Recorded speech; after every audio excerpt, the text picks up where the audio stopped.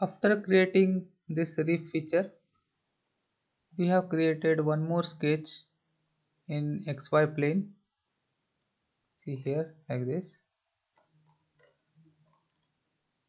And this sketch profile will use to make a 3d with the help of pad command.